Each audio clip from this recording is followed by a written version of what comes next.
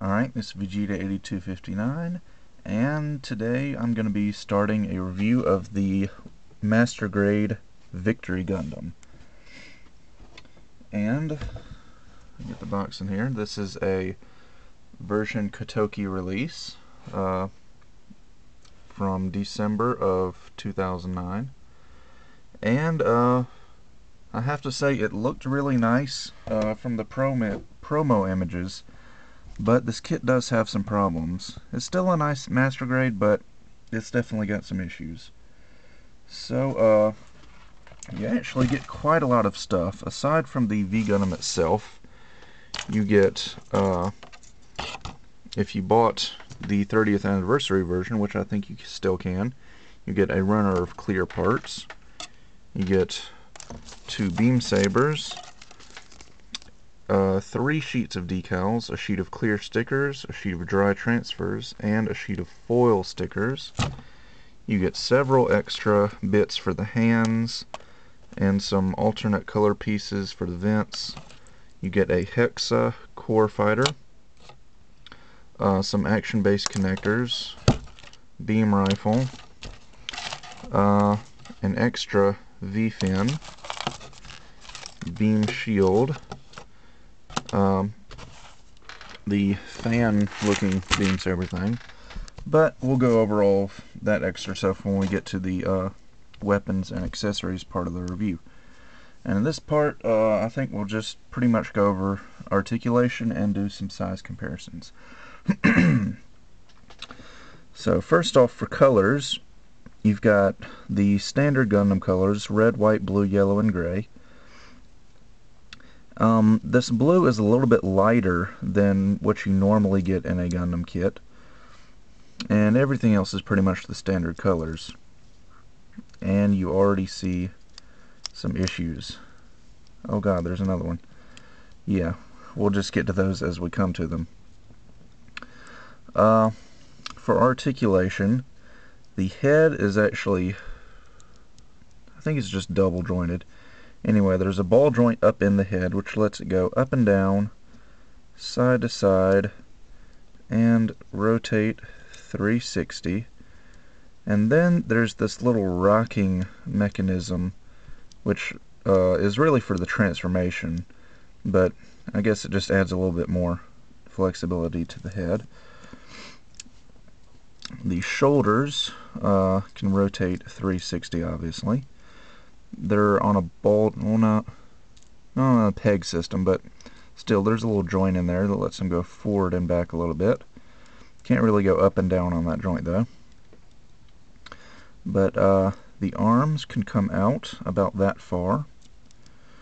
And the shoulder is on a, well shoulder armor is on a double joint aside from the arm itself, which lets it move independently. There's rotation below the shoulder. I actually kind of like these white pieces of armor over the uh, elbow joint. I didn't think I would, but I actually think I like it. Anyway, uh, the elbows do bend a full 180. And you've got some nice part separation down here at the elbow joint. Which I'm not really sure if that's intentional or just part of the transformation. And his leg came off again. That'll probably happen a lot unfortunately. Move these arms out. The side skirts are on ball joints. They can actually go up pretty far and rotate all the way around. And this guy is just trying his best to fall apart. Front skirts are also on ball joints, so they can come up and rotate all the way around. Oh, also there's an extra little joint in there that lets the uh, front skirts come out like so. The back skirts also move. They can go up and down. There's actually kind of a double joint in there. The hips are on ball joints. Uh, very, very weak ball joints that come loose very easily. But the legs can go forward like so. And back up until they hit the back skirts. They can only go out about that far. And I'm just going to pop this leg off to show you the leg articulation. See how it's already got kind of an awkward shape at the top of the hip? And I think that contributes a lot to why these legs keep popping off. Anyway, uh, he does almost a full 180 bend at the knee, despite having this little uh, vent here on the back of the knee. It just tucks down inside the lower leg and you can get just about a full 180. And when you do that, this little piece of knee armor kind of dislodges and comes out a little bit. Uh, there's a little flat back here which exposes the thruster and this little fin, but I think that's really more for the transformation and armor pieces falling off still. anyway, for the ankles, there's actually, uh, for the transformation again, there's an ankle joint that lets it come up pretty far. There's actually a little slider joint in there. So it can bend that far forward. Uh, it can bend down a little bit, and then the foot actually has a joint in it which lets it bend down all the way. And the ankle armor is on a ball joint, so it can go up and down and rotate and wiggle around as well. Um, in case you were thinking I forgot about waist articulation, uh, there is no waist articulation. There's no rotation at the waist whatsoever. No forward and back movement at all.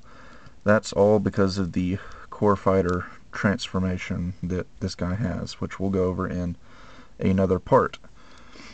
There are also some thrusters on the back which can move around. The back skirt has little thruster. You can open that flap up and expose thrusters in there. And these thrusters on the backpack can move up and down. So, uh, oh, I almost forgot the hands. Uh, the wrists are on ball joints, so they can wiggle and rotate. And V Gundam has got not really new master grade hands because they've done this before, but uh, what they did is that the ball joint, ball joint, the thumb is on a ball joint, but the other three fingers are connected just with a peg system. And let me find the right fingers that connect to this hand. Here we go. There's one. There's another one. And where's the trigger finger? I know it's in here somewhere. There it is. Alright. So basically, you've got four sets of fingers for each hand. You've got the closed fist fingers, which you see here.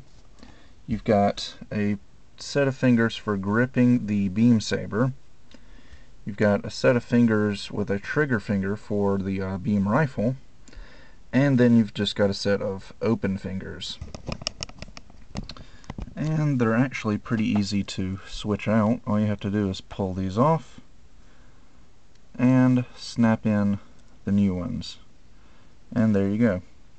They've done this on other kits before. The Master Grade Gouf and Gouf Custom also have this, although those two kits didn't have uh, posable thumbs.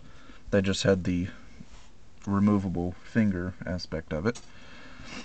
But uh, I actually kind of like this it didn't I wasn't too crazy about it at first when they announced it, but I think it was a good idea for this kit being so small because I would really hate to have to mess with posable fingers on a kit this size because this is a pretty small master grade. In fact, that would be a good way to lead into the size comparison part of the video. Here is the RX-78 master grade of the same scale. So as you can see, RX-78 is quite a bit taller than V Gundam. RX-78 being an 18 meter suit and V Gundam being only 15. So, uh, yeah.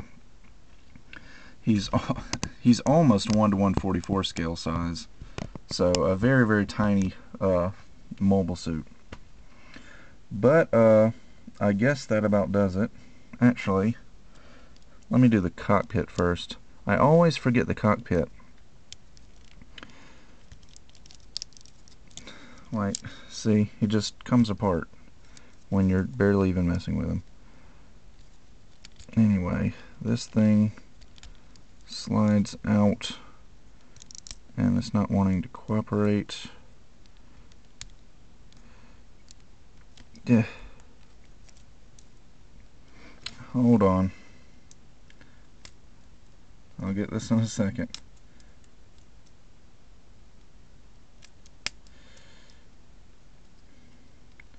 Okay, maybe not. I'll just do the cockpit part when we get to the transformation.